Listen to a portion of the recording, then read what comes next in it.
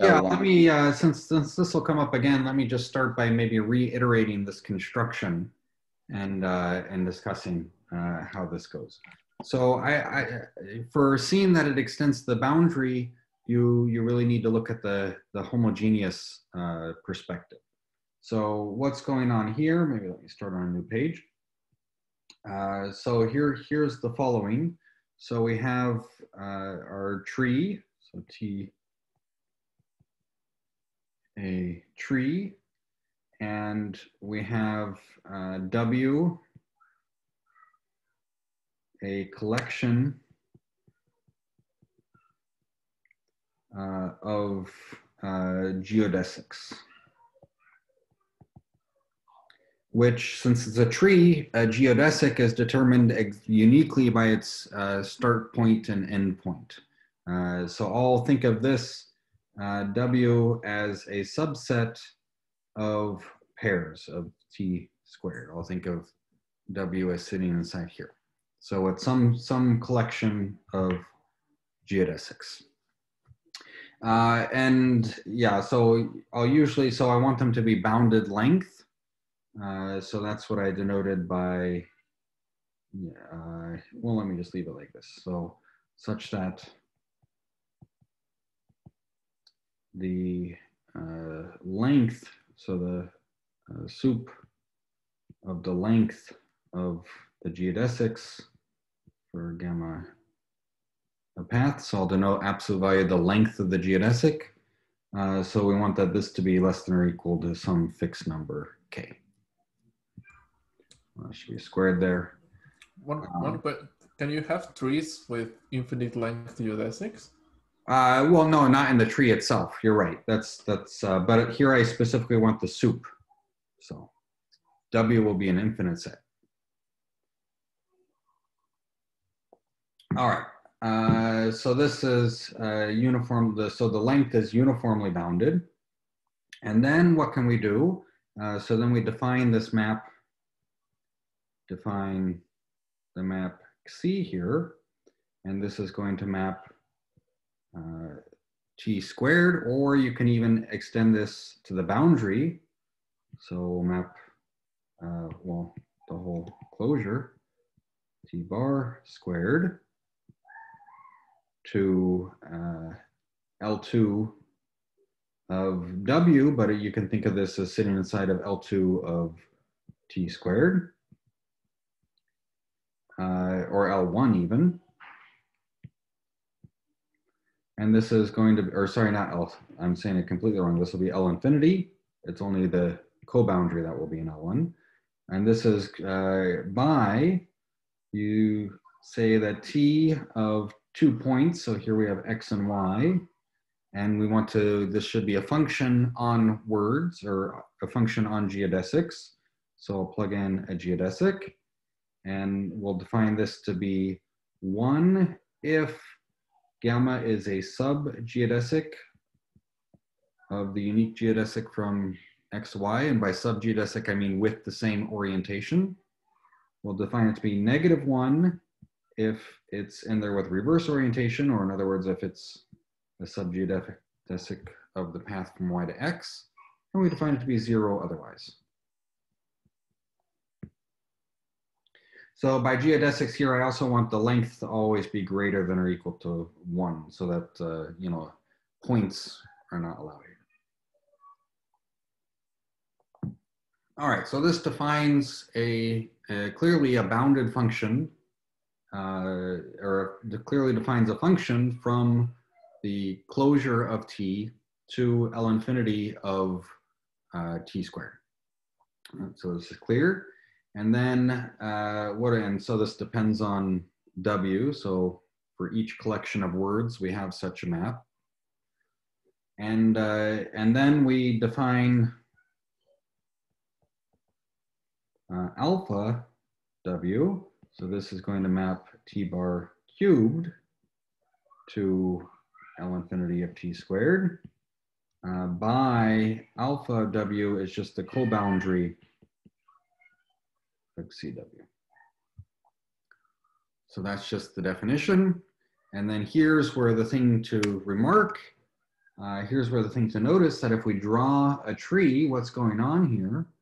So if we have three points in the tree, say X, Y, and Z, so then we have a unique geodesic between them. So the Xi of X, Y, all we're doing is we're counting all the words in W that show up uh, when we go from X to Y. So we're counting all the geodesics that show up as we go from y to x, and we give one, and any, any geodesic that goes in the reverse way, we give negative one to. Then we go from y to z, and again, we pick up one whenever we see a geodesic, and negative one, uh, we for any geodesic that doesn't appear in this, we uh, we apply negative one to, and then we go from z to x. So that's what the co-boundary does, right? So that um, alpha w of xyz is equal to xc w uh, yz minus xc w uh, xz plus xc w xy. That was the definition of the coboundary operator. Um, so we see exactly what's going on so now if we take, uh, if we take some, some word in W, if we take some geodesic in W, well, if it doesn't hit any of it, doesn't lie on any of these paths, then it gives you zero for all of these things. If it lies up here, so it lies on X, on Y, YZ, but it lies before the triple point, then you see that it's, uh, we get a negative one there going from X to Y and a positive one there going from Y to Z, so it cancels. And so the only contributions we get are for geodesics that cross the triple point. So they live on one path and they cross the triple point. All right, so you can see, you can write down explicitly what this uh, cocycle, cocycle is. So specifically that alpha omega xyz of some geodesic gamma you can write out explicitly. It's going to be either one, negative one, or zero. It's going to be uh, one if gamma is a subgeodesic of say yz and the triple point is in gamma or gamma is a subgeodesic of zx or gamma is a subgeodesic of xy. And again, and the triple point is an interior point of gamma. So that's when it'll be one, uh, or it'll be negative one if, you know, etc. And then you still need and the triple point is an interior point to gamma, and then it's zero otherwise. So this cocycle is also zero, one, or negative one valued. Moreover, we see uh, what is the L1 norm of this cocycle of XYZ? If we look at the L1 norm, well, you need to have uh, you need to have a, a, geodesic which has T as its interior point and lives on one of these things. Well, there are six possible ways. It could be from Y to Z, Z to X, X to Y, or it could be one of the th three reverse. Uh, so there's going to be six ways here. So this is certainly less than or equal to six. And then for each segment, if it's on YZ, uh, and then you need that the triple point is an interior point, and there's only going to be the length minus one interior points. Uh, so therefore, this is going to be 6k uh, minus 1. Uh, and I guess this is for geodesics of length uh, length k. And so then I guess you sum up over all geodesics since the sup is k. So I guess it's going to be uh, the sum, the sum as j goes from uh, 2 to k of j minus 1. So I guess that's what you get since I allowed for more than fixed length geodesics here. Uh, so this is the estimate that you get, which in particular is bounded independent of x, y, and z. uh, it's bounded independent of x, y, and z. So therefore, we get that alpha w is a bounded cocycle. One question. I don't see why does that why does our C and our alpha depend on the on the collection of geodesics? Where where are those? Where is that Uh. Where do they depend on it? So of course you could take, for instance, you could take W to be all geodesics of length at most K, and that gives you a perfectly well cocycle. But you see from the formula here that, uh, you know, oh, this is, oh, I see. So this is, I should say gamma in W for both of these. Right, it's zero if gamma's not in W. It's so for, for each collection of geodesics, uh, we just define it zero. So if you like, you can take the collection of all geodesics and then you just project down to the ones that you want to the case. Um, of course, this, there's no group action here. So these will actually be, since this is like the trivial group acting, so these, these are not gonna be so interesting cocycles. Uh, but the interesting thing will be is if a group actions, then we can take a collection of geodesics, which is invariant under the group. And then we get an equivariant map here. Right, so note, uh, note that if gamma acts on T isometrically, and if uh, gamma times W is equal to W, so preserves these sets of geodesics, uh, so then uh, alpha W is gamma equivariant. So we'll get a cocycle for the gamma action. But you're exactly right. There's um, that it makes perfect sense to just take W to be, say, the collection of all geodesics of length two. And this is a perfectly nice co-cycle, And this is exactly the co-cycle that Monod and Shalom focused on in their paper. All right. But uh, so that co-cycle, actually, I did figure out a way to show that that's not a co-boundary, So I'll present that proof, which, which is great because that'll simplify some work. But the proof we gave before of Bestvina, Bromberg, and Fujiwara, Fujiwara uh, does not apply to that particular cocycle. So that's why I wanted some more flexibility by taking a collection, any collection of geodesics. So for instance, for example, is if T is the Cayley graph of F2 with respect to the generating set AB, the natural generating set, then this gives us a perfectly nice tree. And if we take any, W, any word, any reduced word in uh, F2, say, uh, well, any reduced word. So then we can consider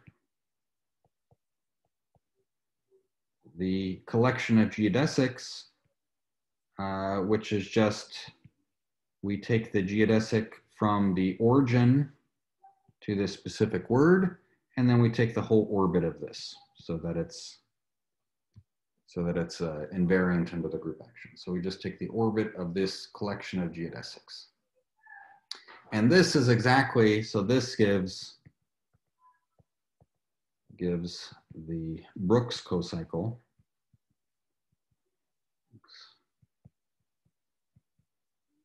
Uh, it shouldn't be an apostrophe. I think his last name is Brooks. Brooks cocycle uh, we discussed last time.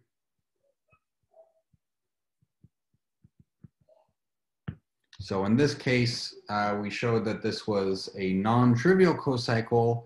For instance, as soon as the length of this word is greater than or equal to three, we got a non-trivial cocycle in this way.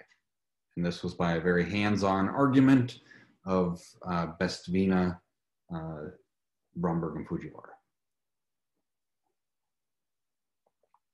But in fact, what we'll show so this is the theorem. I don't think we'll be able to prove it today, but maybe by Friday we'll be able to prove it. So the theorem I want to show is that uh, if So that's the other remark, since the question at the beginning of class was how do we see that this extends to the boundary? Well, you'll notice nowhere in this entire discussion here did I use that X and Y were in T. They were, this argument works perfectly well even if they're on the boundary. So this is a cocycle not just on T, but it's a cocycle on the whole closure of T. Right, so this makes perfect sense. And then the other thing to remark is uh, to note that this cocycle, uh, so it's not quite a continuous cocycle, but it will be continuous uh, when you restrict it to the uh, subspace. So this alpha will be continuous when you restrict it to the subspace of, uh, of distinct triples. So the only point, the only case where you get discontinuities is when two, uh, two of the coefficients come together, like if x tends to y or something like this. We'll discuss this uh, in detail maybe later. But the theorem I want to prove is that if um, alpha uh, is mapping, uh, so we'll do this just for the free group since that's all I care about. So if gamma is equal to F2 and if um, alpha is mapping uh, F2 the cubed, so a gamma cubed, so this is a, three, a two cocycle, gamma uh, cubed to uh, L2 of gamma squared. So we'll think of these as geodesics. If alpha is a uh, bounded two cocycle, such that alpha extends to a um, to a map on the completion, say alpha alpha bar, so it extends to a map alpha bar mapping the closure here, gamma bar cubed to L2 of gamma 2 that is continuous on distinct triples on the subspace of distinct triples.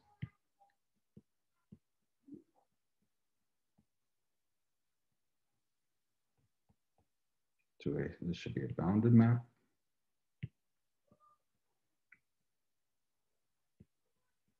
That is continuous on the subspace of distinct triples.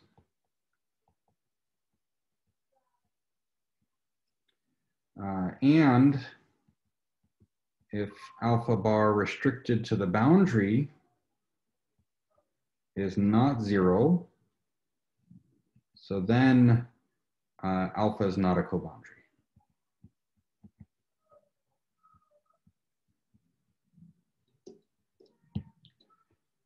All right, so this is the theorem that I want to prove.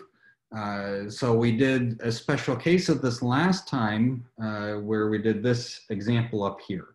So this example up here, we gave a direct argument uh, for W any word length greater, greater than or equal to three. We gave a direct R, so that cocycle fits the hypotheses of this theorem, and we gave a direct argument that that cocycle was not a coboundary. Uh, uh, but I want to prove this in general. So this is a theorem we'll prove, and like I said, we we won't be able to get to it today since we'll have to prove some preliminaries first, but I'll state this and then hopefully we'll get to it Friday or Monday. All right, any questions about the theorem?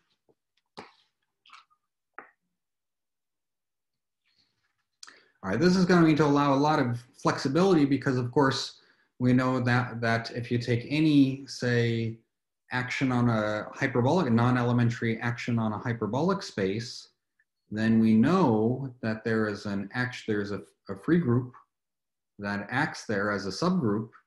And, uh, and so if we want to show cocycle is non-trivial, then we can restrict it to the subgroup and then apply this theorem. So this is why uh, we like this theorem. All right, so let me Which go theorem ahead. is this? Uh, this is my theorem, I guess. I thought of it uh, I, uh, to prove for these, these lectures. So we'll see. So hopefully there's nothing wrong with it. Um, but this is really based on the work of Monod and Shalom, where they showed that the cocycle restricted to the boundary is non-trivial. Uh, my contribution is all, all show that that implies that the cocycle itself is non-trivial. So uh, to show that the cocycle restricted to the boundary is non-trivial, so Monod and Shalom's work, uh, we're going to first need some uh, more abstract tools. So uh, now we'll, we'll get a little uh, abstract here. Uh, so again here, uh, so we'll let T be a regular tree. So meaning each vertex has the same uh, number of edges and we'll assume that the number of edges is uh, finite and say at least three. This is what I care about with degree n, which is greater than or equal to three and less than infinity. All right. Uh, and then what I'll do is I'll uh, let G be the automorphism group of this tree. So by that I mean the tree itself is a graph, so therefore it's a metric space, and this is just the group of isometries of this, or it's just the group that preserves the graph. Um, and then this group is naturally uh, not just a group, but it's a topological group uh, with specifically the topology uh, with the topology given by some uh, net uh, in G converges to G if and only if they converge pointwise. So if and only if uh, GI applied to some vertex O gets sent to G times O uh, for all O in all origins in the tree. Of course, the tree itself is a discrete space. So to say that it converges just means that it's eventually equal to, uh, since this is a discrete space.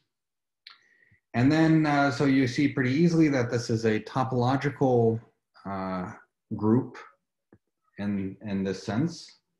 Uh, and what else can you see? Uh, you can see, you also see that it's separable. So this is, this is a separable group. Uh, just because uh, the space of bijections itself is already a separable group. And this is, uh, of course, automorphisms of bijections. Um, so this is a separable group. And uh, what else can we say? So if we fix, uh, if we fix some origin and the group tree and the group T. So then consider this group K, which is just going to be the stabilizer of this origin. So this is the uh, stabilizer, this is G sub O, or this is the set of G and G such that GO is equal to O. So the stabilizer subgroup and then the thing to notice about this is because this is the discrete, discrete topology, uh, if you take a sequence or a net and they eventually converge to something in K, then that means that they fix, they converge to something that fixes the origin, but that means that they eventually fix the origin themselves. So if they converge to something in K, then they're eventually in K which is just saying that K is an open subgroup. So K is an open subgroup.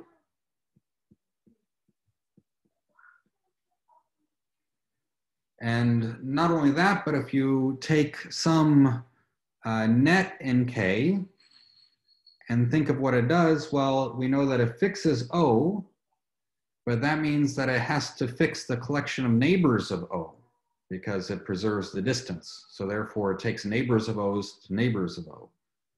But there are only finally, there are only n neighbors of O. So therefore, this net uh, just permutes this endpoint set. So by taking some subnet, you get that it uh, doesn't change. So you can find some subnet, but then you look at the neighbors of those, and you get that it also will, upon taking some subnet, it fixes those neighbors or, or is constant on those neighbors.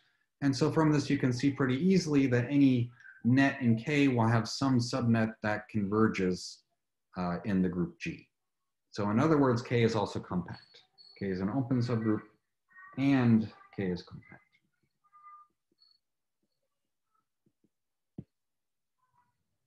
Um, and like I said, this is because if, well, since it's, uh, G is second countable, so even so, well, I'll let you guys think about the argument that I just sketched.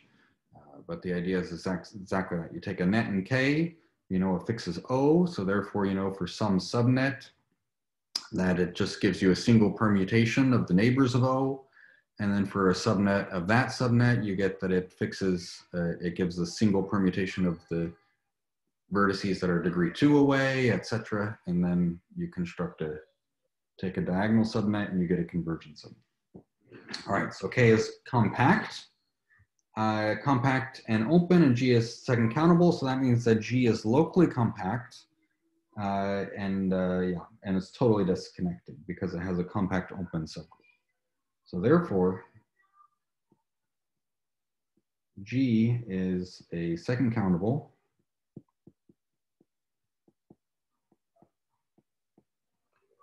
Uh, locally compact, totally disconnected group. So this is a nice group, in other words. It's not such a wild group. It's locally compact.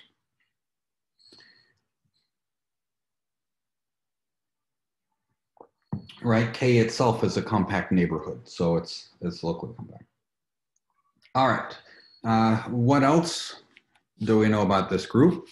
Uh, so this group is, is very, very similar. There's an analogy between uh, tree automorphism groups and um, and SL2R. And this is the analogy I want to exploit here a little bit. So uh, T is in some sense uh, is analogous to uh, SL2R, which we've studied already before in this class. There's a lot of number of similarities and you can prove some things. Of course, this here is a connected group and this is totally disconnected. So in that respect, they're very different, but there's a lot of similarities between these. So. Specifically, one of the similarities is that um, we have, uh, so for Lie groups, we saw we had this KAK decomposition. And this is something we have uh, for trees as well. So let's go ahead and fix a bi-infinite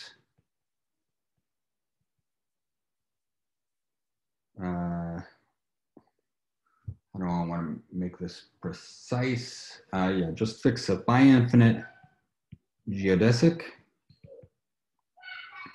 uh, cont containing O uh, maybe give this a name, gamma containing O, and then I'm going to fix some T in, in the automorphism group of T, uh, so such that T of gamma n is gamma n plus one. So we're gonna take, here's the picture, so it's nice with the free group nice with F2 because here's your Cayley graph. And so all I'm doing here's O say, and I'm just taking this bi-infinite geodesic, and then I'm taking some translation which just shifts this geodesic one. Right, so for instance, if T is, if T is the Cayley graph of free group on two generators, uh, we could take t to be exactly a, which just shifts the geodesic, the geodesic would be a to the n, gamma n equal a to the n, and then t to be just a. So it just shifts this geodesic.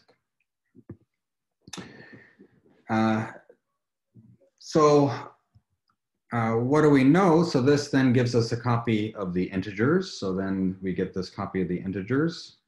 So the integers is isomorphic to the subgroup generated by T, and this is um, uh, T. And then we have this KAK decomposition, which is that, um, uh, so the claim is that um, G as a set is equal to K, and then here we have uh, A plus, so this is, I'm gonna denote this by A, this group, A plus K, where A plus is just the set of group, the elements to the n such that n is greater than or equal to zero. All right, so let's think about this. Why is this true? So this is like the KAK decomposition. Remember for SL2R, we had, we had a natural compact subgroup in SO2, and we had a natural diagonal subgroup, and we had a very similar decomposition there. Uh, so why is this true? Well, if we think about it for a moment, if we take any, so this is since, uh, if we take any tra uh, transformation, so if we take any G and G, so then we look at where does uh, GO get sent, and we see that we can rotate, so the GO gets sent in, some direction, but we know it, it, gets sent on some direction. You can find a, uh, a, geodesic going to the boundary, which goes through this point. Uh, since of G is in G, uh, there exists a geodesic, uh, say lambda, uh, containing an, an infinite geodesic containing the path from the origin to G to the origin. But now we use the fact that uh, the compact subgroup K, so the only restriction here was that we, for K, we just fix the origin, but we're allowed to permute any of the branches that we want in any way that we want. And so it's pretty easy to see then that K can take any geodesic any infinite geodesic to any other infinite geodesic. So there exists some, say, K1 and K, such that K1 is, uh, when we multiply it by this lambda, this is exactly the positive part of, uh, of the, our favorite geodesic gamma that we fixed here. So we can just apply T and remember the only condition on K is that it fixes the origin. So if we have another geodesic, if we have some geodesic like this, then of course we could just rotate uh, to make this geodesic map onto AN. Uh, but what does that mean? So after applying some K1, we get that we now map this to AN. But then, of course, we can apply some, then that means that GO, after we translate it by K, gets mapped to some positive TA. Actually, maybe I wanted to map it to the negative.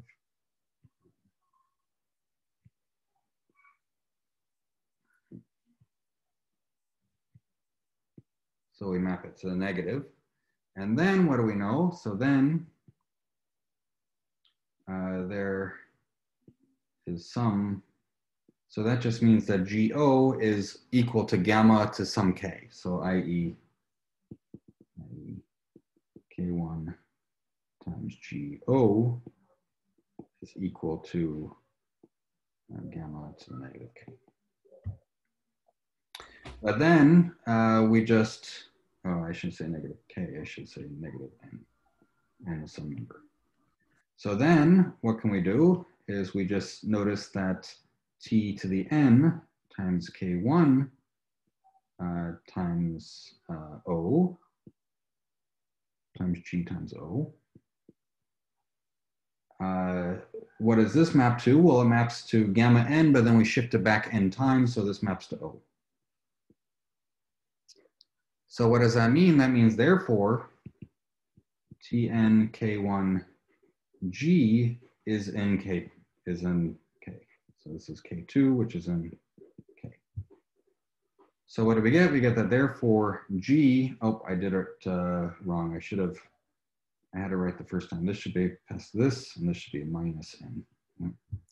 So therefore, when we rewrite it as G, so we get that G is equal to K1 inverse T to the N K2, which is in K A plus K. Right, so we can always get this KAK decomposition. Uh, the other thing we have, the other thing that I want to notice is let me define, so that establishes this formula here. Uh, so now I want to define another subgroup. How about, uh, so we'll define, I am not sure if I know the standard terminology here, uh, but let me define P to be the stabilizer of the boundary point for this gamma. So gamma gives us this path, and I'm going to define P to be the stabilizer of this boundary point. Uh,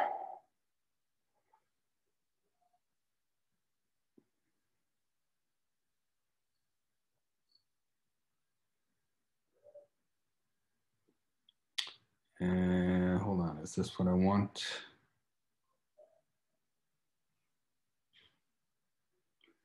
No, no, no, let me not define that yet. Here are the two subgroups I want to define.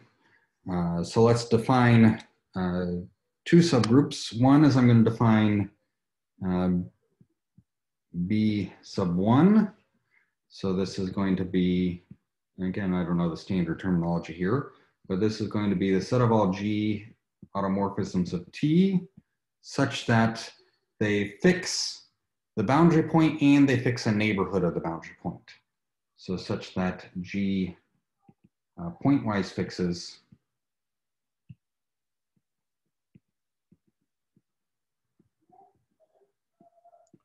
some neighborhood of gamma plus. So again, if we think of this and the Cayley graph, that means we could take some, we just cut this off here at some point, and we could do all sorts of trans translations here, but then we don't want to do anything more.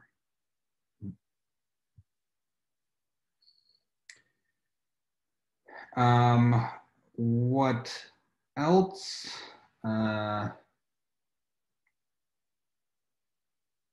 yeah, the other thing I want to set is B2 to be the set of G.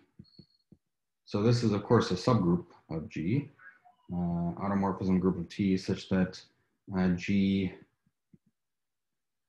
pointwise fixes some uh, neighborhood of gamma minus. Maybe let me to be more suggestive in notation, let me call this B plus and this B minus. Uh, so these are two subgroups. And then the other fact that I'll use here, so I'll leave this as maybe an exercise. And this is where I'm going to use that um, the degree of each vertex is at least three. And that is that G is generated by these two subgroups. So since the degree G is not greater than or equal to 3. Uh, and why is, why is that? I'll just maybe uh, briefly discuss this. So if we uh, find some neighborhood of, say, uh, gamma plus, then we're allowed to change anything we want about these, uh, you know, branches here. We can permute them in any way we want or with these branches over here. Uh, eh, we can do it any way we want. And then, then we apply another permutation and all the, the only requirement there is we fix this. And so that gives us freedom that we can then permute branches really however we want when we combine these two methods. So it'll specifically be, uh, in fact, that it's even boundedly generated, uh, that if you look at B minus times B plus times B minus just as sets, this is already equal to G. So, so you don't even need to go very far to generate the whole group. Um, okay, maybe even just B minus B plus. Uh, I'm not sure, but certainly, certainly taking three products, you can generate the group. And this is uh, similar to in SL, SL2R, you have the group of, uh, strict, of strictly upper triangular matrices and the group of strictly tri lower triangular matrices. And you know that they generate uh, SL2R. And so then what I want to put these together is I want to prove a theorem that is due to, I believe, uh, Burger and Mozes.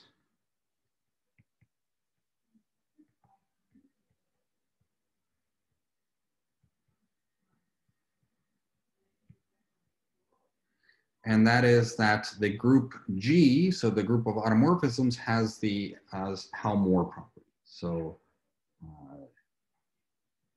uh, T, again under these assumptions, has the Howe-Moore property. And I'll define what that is. So Howe and Moore proved this property for SL uh, NR and, and more general for simple, for any uh, non-compact simple E group, how, how Moore proved this. And what it is, is this means that if, so i.e., uh, if pi is any unitary representation, is any continuous unitary representation, whereas for, for representations of topological groups, continuous means continuous into the strong operator topology here, or equivalently continuous into the weak operator topology, uh, because the strong and weak operator topology uh, have the same convergence on unitaries. That's a fun exercise. Uh, so any continuous unitary representation without invariant vectors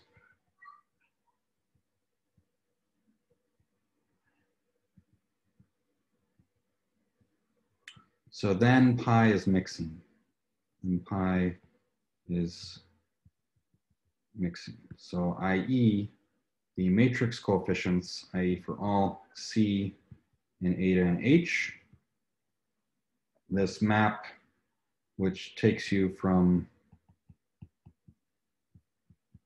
the group elements to the corresponding matrix coefficients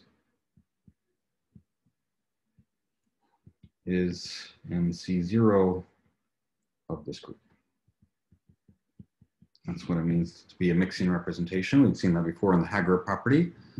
Uh, in fact, Haagerup property uh, was exactly the statement that uh, there existed a matrix representation which has uh, which has uh, which is C0, which is mixing, and does not have invariant vectors but has almost invariant Actually, from the definition of the Howe-Moore property, you can see right away that any group with the Howe-Moore property is either property T or is Haagerup property. So it has to be one or the other because either there either has property T or else it doesn't, in which case there's some unitary representation with almost invariant vectors and no invariant vectors, but by Howe-Moore property that has to be mixing, hence you have Haagerup property.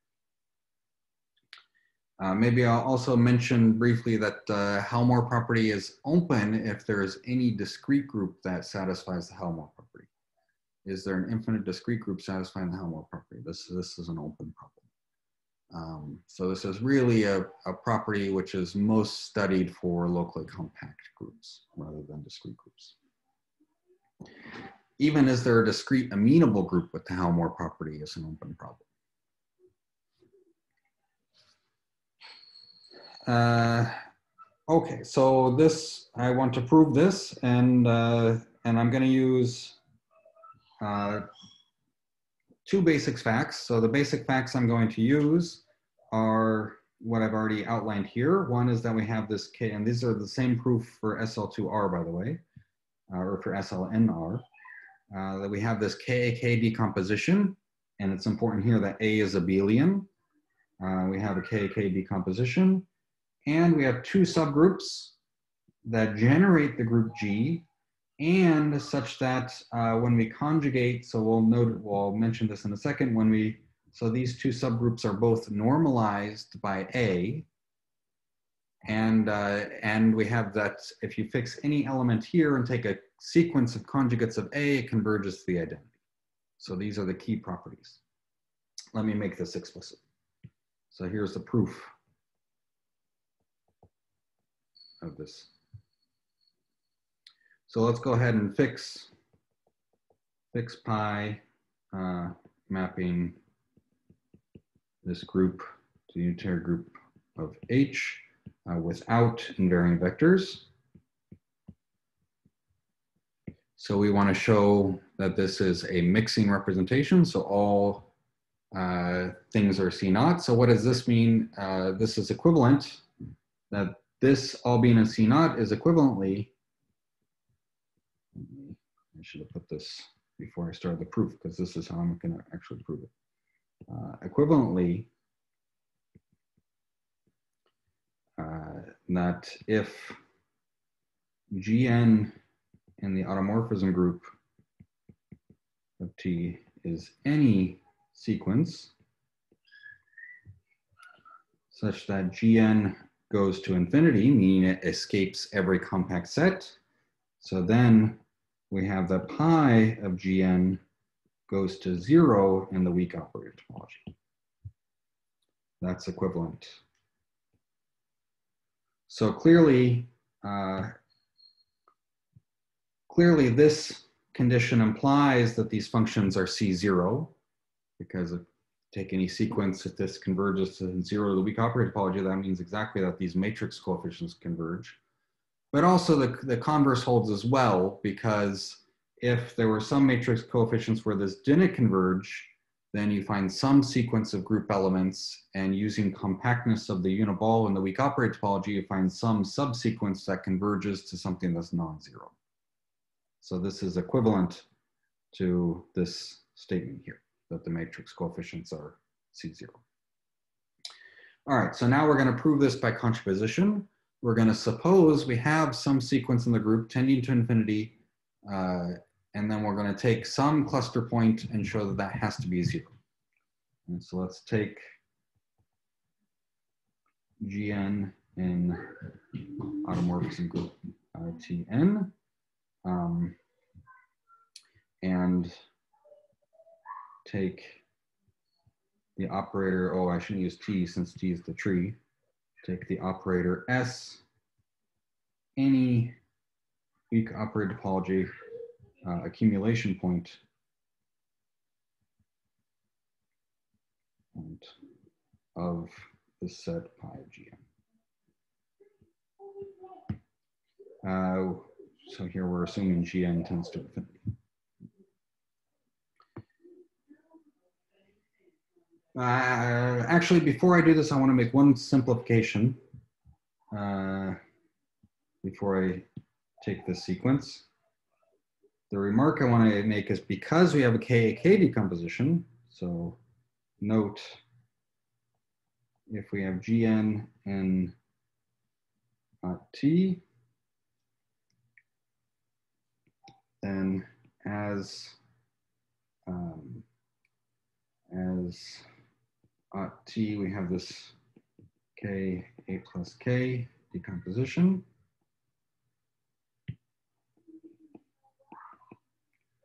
uh, we write gn equal to uh, kn a n k n tilde. And taking a subsequence, we can assume that the kns and kn tilde converge. And taking a subsequence, we may assume that kn converges some k infinity and kn tilde converges some k tilde infinity, since they're in the compact subgroup. Uh, so what does that mean? That means these matrix coefficients, so pi of gn c eta, that means these are, well, these are equal to pi an and then pi kn tilde c pi kn inverse eta. And since these converge here, uh, we know that these converge in the strong operator topology. So that means in norm, this is very close to pi an. Now we have pi of k infinity tilde c pi k infinity inverse eta. So what does that mean? That means that the matrix coefficients vanish on G if and only if they vanish on A. So therefore, we get that uh, pi is a mixing representation if and only if when we restrict pi to this A, which remember is just a copy of the integers, uh, this is a mixing representation.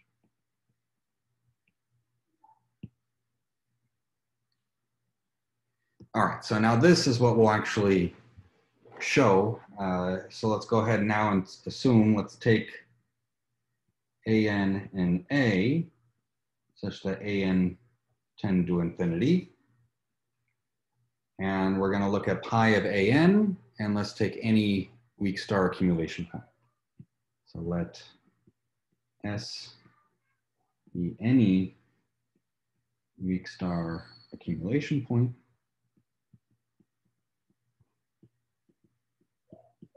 of pi of an.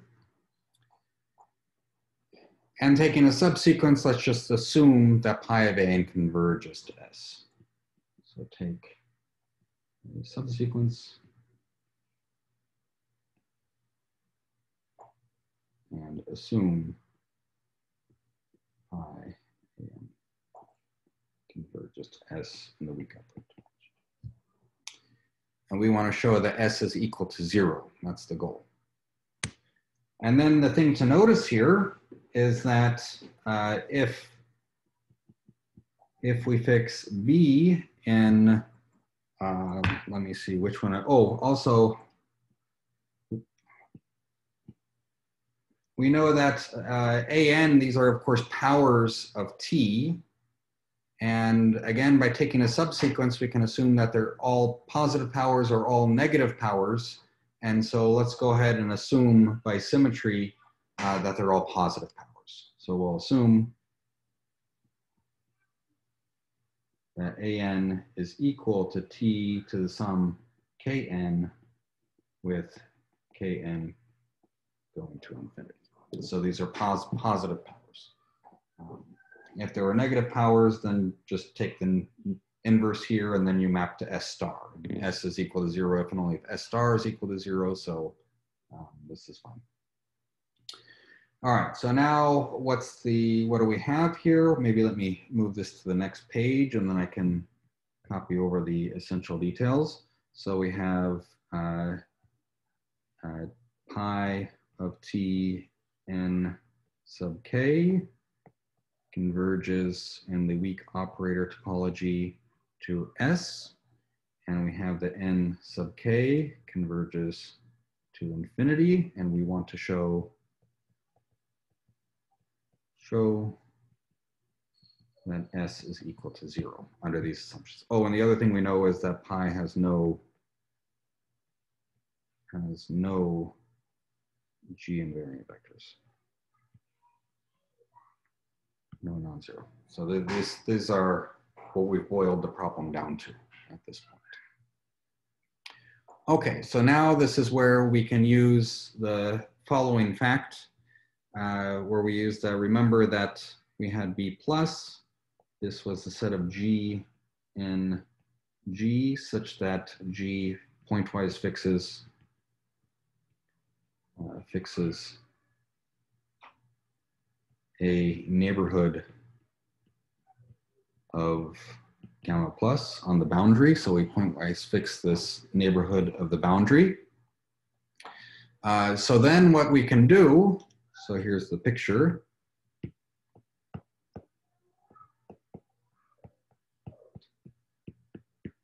So we have here, here's our gamma plus out here, and we've uh,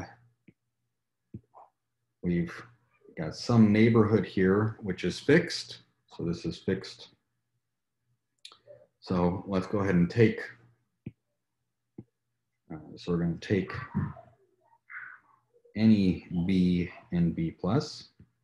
So this is so we get some neighborhood here. This is fixed by uh, B, right? So at some point, uh, at some point we're gonna fix, uh, we're gonna fix gamma n and we're gonna fix anything beyond gamma n. But then what can we do is we can apply the transformation t and remember what t does, t just shifts uh, gamma plus, it just shifts it so that it get, gets n. So what does this mean? This means that if we take so note, now I have to remember which one it is here. So we take NK, B, T, N, K, and I want the minus here.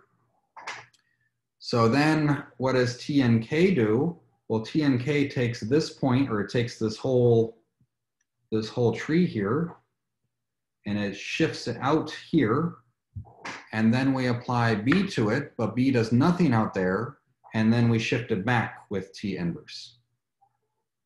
So we see that as nk goes to infinity, this fix this element here fixes more and more points. It fixes larger and larger neighborhoods. Right? So this uh, fixes, so if, so we have, let me, let me make this explicit. So if B fixes uh, any uh, vertex beyond gamma L, say.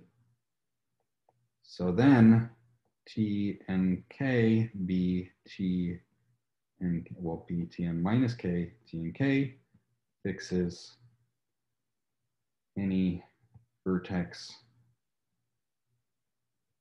and what do I mean by beyond ML? I mean, um, I mean beyond the path. Uh, well, you know what I mean from the picture. So it means that if you start here from gamma minus, uh, then you'll hit gamma L. When you go to gamma plus, you'll hit gamma L, and any point from that point on or any branches are all fixed. So then we get the any vert the, so this fixes any vertex beyond gamma L minus NK. And NK is going to infinity, so this fixes larger and larger subsets of the tree, which is just saying that this sequence converges to the identity in the tree automorphism group, right? So we get the therefore T minus NK, B T NK converges to the identity in the automorphism.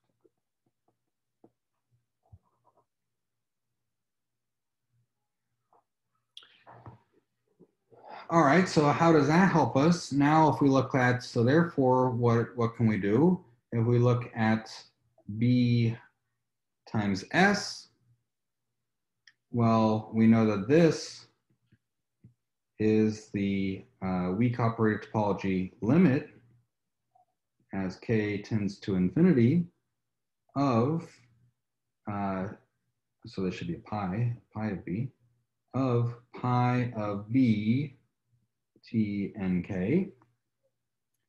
And now I can rewrite this as weak operator topology limit as k tends to infinity of pi T N K, and then T N negative NK, B T N K. And now we have here that this sequence converges. So when we apply here, when we, let me split out pi since it's a representation. So this is pi t n k, and then pi t negative nk. And then, um, and then what do we have here? We have the representation is continuous in the strong operator topology. So we have that this sequence converges to one in the strong operator topology. And this sequence converges to S in the weak operator topology. And uh, if you have strong opera, strong times weak, uh, it converges weakly. So this converges to uh, S in the weak operator topology, so we get this equation. So in other words, the range of S is fixed by the subgroup B plus. So therefore, uh, therefore uh, B plus or pi of B plus fixes the range of this. But now what can we do? Now let's go back to our original definition of the sequence here. And if we replace nk with negative nk, well, that just gives us the adjoint. Weak operator topology is continuous with the adjoint, so that converges to S star. So note that pi of t negative nk converges to S star in the weak operator topology. And we can do the exact same argument now for B. So this was for B plus. We can do the exact same argument now for B minus, but instead of conjugating by T and K, we conjugate by T minus in K. So we similarly have, because that moves everything from the left to the right. So similarly, we get that pi of C times S star is equal to S star for all C in B minus. So the range of S star is fixed by the subgroup B minus. But now the last ingredient is to notice that uh, these k's are all in A, and A is an abelian group, which means anything that converge to a weak operator topology will commute with each other. So in particular, S and S star commute. All right, so notice that S and S star, they both live in the von Neumann algebra generated by this, which is abelian,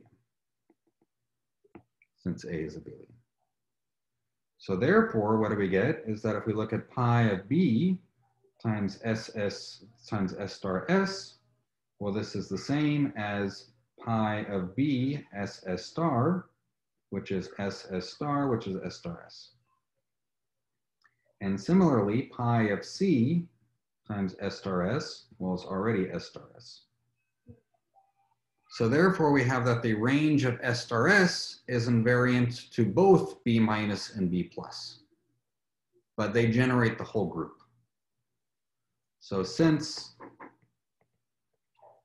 since the automorphism group of T is generated uh, just as a group by B minus and B plus, we get that uh, the range of S star S consists of G invariant vectors. But by assumption, there are no G invariant vectors, so we get that therefore the range of S star S is equal to zero space, which exactly says that S star S uh, is equal to the zero operator, which of course implies that S is equal to the zero operator because the norm of S star S is exactly the norm of S squared. Uh, and that finishes the proof of what we wanted, wanted to show. All right, so this is a lot of uh, details I've thrown in here. Um, so I'll put these notes on the web so you can look at them. But uh, the remark I wanna make is that this is the exact same proof for a simple Lie group. Uh, so for there, the, you have, again, this KAK decomposition where A is an abelian situation. You again have these uh, subgroups B plus and B minus that are like uh, similar to this. So for SLN, you just take the upper triangulars and the lower triangular matrices with ones down the diagonals. And you again have this phenomenon that for one of these, when you take powers uh, in AN that go to infinity, you have this. Uh, this is, uh, sorry, for SL2, this is specifically what I'm saying. You have this situation. And for negative uh, powers, you get it for the other group. And so you can still take this S star S and you get this exact same.